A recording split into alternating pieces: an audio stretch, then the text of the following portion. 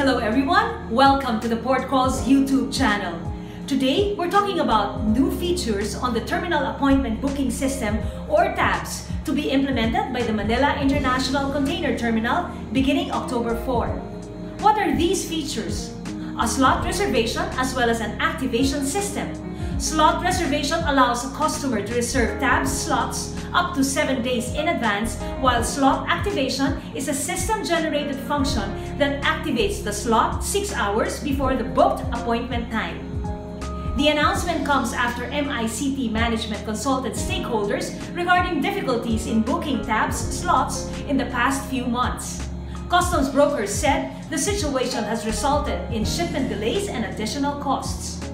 Under the new policy, the slot reservation is considered valid only when activated. Trucks that arrive at the gates before the TABS slot is activated will be considered without TABS appointment and will not be served. They will also be required to settle the pass-through fee in MICT's Advanced Customer Transaction System before being allowed to gate out. MICT reminded truckers that although booking will be activated 6 hours before appointment time, the truck must still arrive within the early grace period.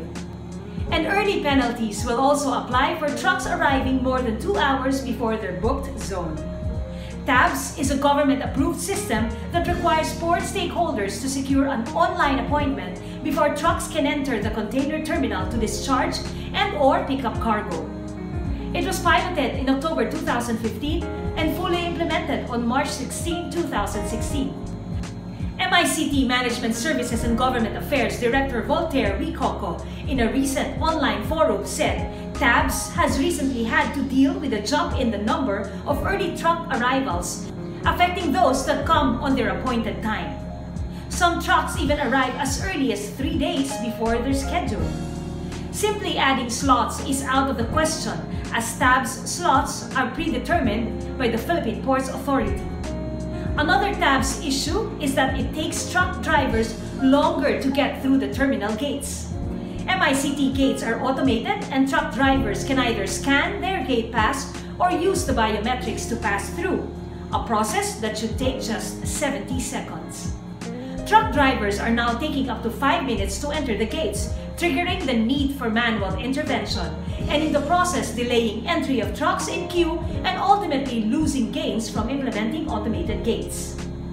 To address this, a reorientation for truck drivers on proper gate entry will be conducted soon. For more details of this story, go to www.portcalls.com. Don't forget to subscribe to the Port Calls YouTube channel.